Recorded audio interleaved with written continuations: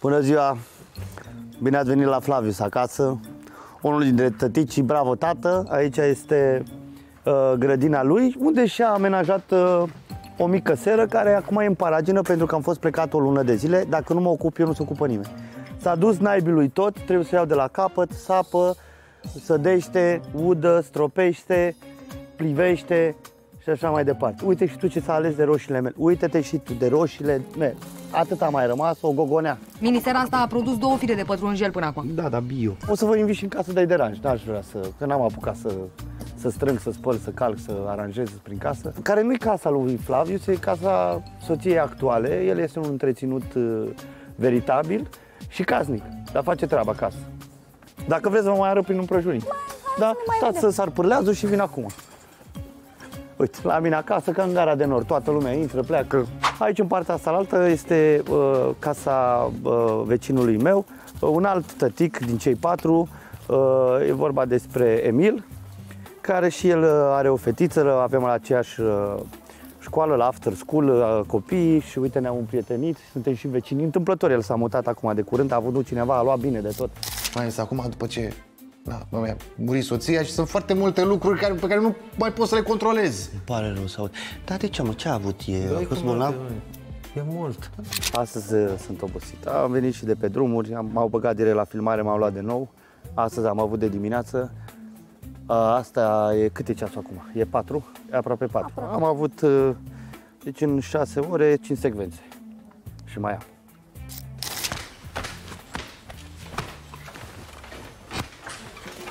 Sincer, ce, ce fac eu aici în personajul ăsta, nu prea fac acasă. Adică, cum ziceam, spăl vase, fac de mâncare, calc, spăl, duc copii la școală. N-am parte de asta acasă, e adevărat. Da, Da, poți mă- să ai. A? Poți să ai. Ei, să nu exagerăm. Chiar așa, muncim și acolo și acolo. Undeva trebuie să fie odihnă. Cel mai bine e acasă că nu e Lizzy. Ma. Curentul.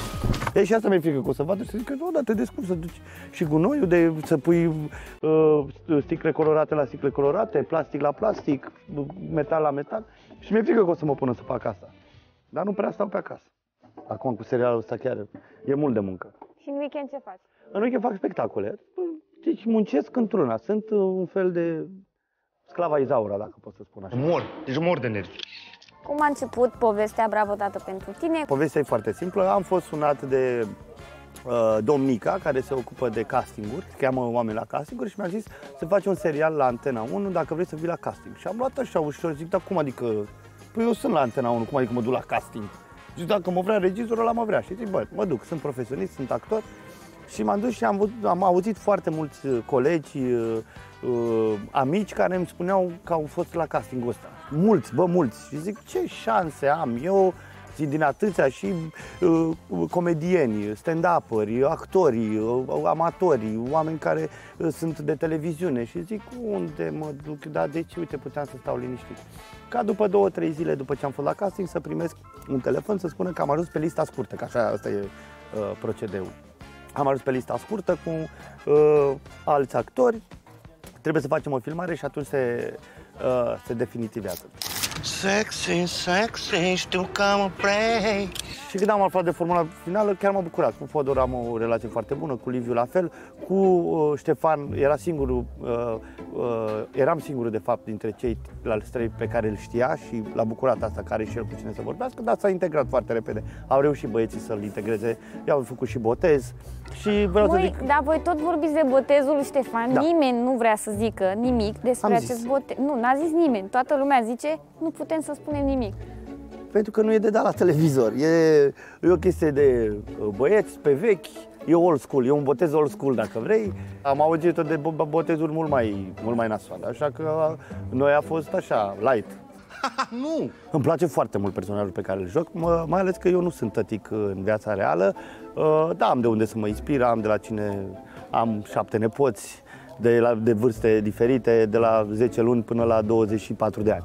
Adică așa, așa vastă e. Am experiență în sensul că am văzut la ei și, na, sigur că am furat uh, niște lucruri. Eu am și norocul că personajul e un tată de uh, fete care sunt măricele, 9, respectiv 14 ani. Deci nu am noroc și la filmare că nu sunt copii de ăștia mici care nu au răbdare și pe răbdare aleargă, uh, nu uită uh, replică și așa mai departe. Și ne înțelegem altfel, adică putem comunica destul de ok și sunt foarte, foarte talentați, toți copiii, nu numai fetele mele. Ale mele sunt cele mai talentate, ce să zic. Așa, tata, așa, fete. Mira, ce cauți la ora asta afară?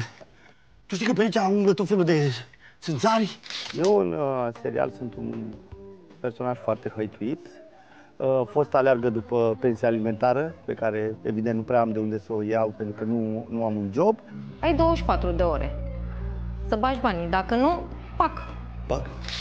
Uh, iar actuala vrea un copil, mai vrea un copil și pentru mine e suficient, mă sperie ideea de încă un copil.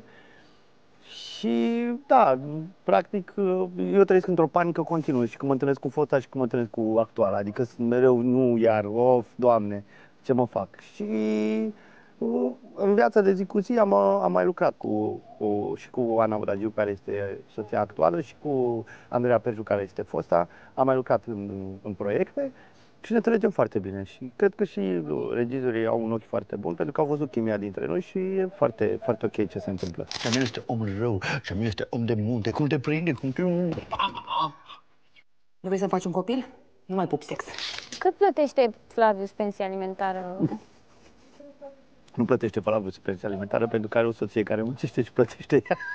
Deci actual îmi plătește mie pensia alimentară. Către fosta. Către fosta, da. Deci fata stă cu noi, mănâncă cu noi, îmbrăcăm noi, dar îi dăm fostei soții uh, pensia alimentară pe care o cheltuie ea. Ce, ce s-a întâmplat? N-a intrat pensia. N-au intrat? Nu. Asta e că și am fost prins cu sărbarea asta, eu mă ocup de toate. Popeasca mi-a dat țeapă, treaba este că... că a Iubita căzut- ta știe că atunci când minți te mănâncă? Flavius este un personaj căruia îi place să, să, să se afle sub papuc, să fie dominat. El toate, el inclusiv fetele îl domină, adică fetele lui. Și el are frică de femei în general. Plus că am crescut cu o soră care este uh, soția lui, uh, lui Mario, Liviu Vârciu, și atunci e un patern de ăsta pe care el încă îl mai are la vârsta de 43 de ani, îi place să fie sub papuc, să fie întreținut, să fie chinuit, deci e, e o plăcere nevinovată, dacă vrei. De uite, aici la mână, de exemplu, uite, Așa. la pernuța asta, dacă fac așa și strâng, mă doare rău. Ia, aici?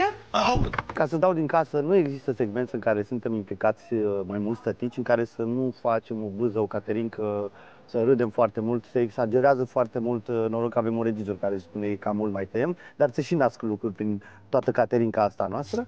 eu n-au nevoie de kilos. Mulțumesc că mi-a lăsat șercuța asta, că e singurul cadou de la tata. Care este primul lucru pe care îl faci când ajungi la filmări? Uh, îmi fac o cafea. Care e animalul spiritual al lui Flavius? Cred că suricata. De ce?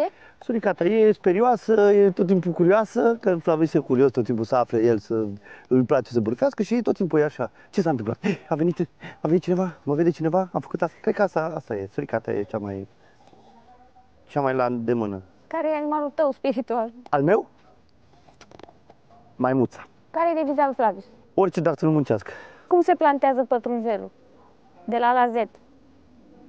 Pătrunjelul se plantează în felul următor. Se uh, sapă gă- grădina, uh, se aruncă semințe, se stropește cu apă și se așteaptă. Dacă crește bine, dacă nu, aia e, o iei de la capăt.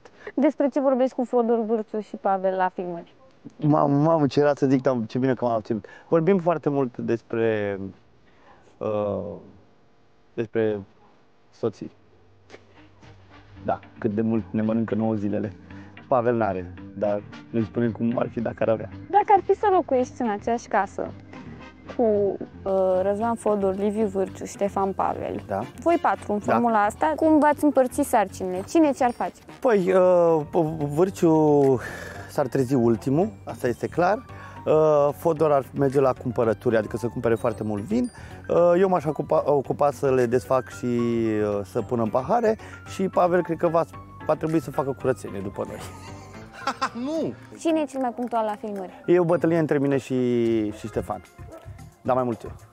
Umblă vorba că Fodor ajunge înainte echipei de producție. Fodor nici n-are... Vezi, dacă Irina tot pleacă prin țări calde și așa, ce să facă acasă? Fuge de responsabilități și vine și doarme aici, în mașină. El nu merge acasă. Eu așa bănuiesc pe Fodor că el doarme în mașină și când vine cu jumătate de ori doar se trezește și pornește mașina un pic mai în față, o pornește și zice am ajuns la filmări. Cine face pe toată lumea să râde la filmări? Toată lumea face pe toată lumea să vârde la filmări. Ce nebunie ți-ar plăcea să introduci orice nebunie Da. la personajul tău dacă ai avea această putere? Dacă aș avea putere să introduc o nebunie lui Flavius, ca să-l omor de tot, i-aș face și o amantă, adică să aibă o fostă, o actuală și o amantă. Dacă Flavius și-ar vinde pătrunjelul în piață, Da. Ce-ar spune cum și-ar promova pătrunjelul? E făcut cu mânurile mele. e făcut de mânurile mele. Cumpărați, e bio, e, e de la țară, e românesc. Ce zodie e Flavius? Flavius este zodia struț. Gemeni, gemeni, gemeni. De ce? Pentru că are mai multe fețe. Fe, fete. Tu ce zodie ești? Eu gemeni. Eu, Natanticul, gemeni sunt. Da, cred că tot gemeni l-aș vedea. Uitați-vă la Bravo Tată, pentru că este o comedie, cum n-ați mai văzut în România, uh, cu copii, cu neveste și cu bărbați. De ce? Pentru toate vârstele și o să vă amuzați foarte tare, o să, o să vă regăsiți uh, în, uh, în personajele din Bravo Tată. Așa că uitați-vă să facem și noi rating și luni când aflăm ratingul să spunem Bravo Tată. Lumea strigă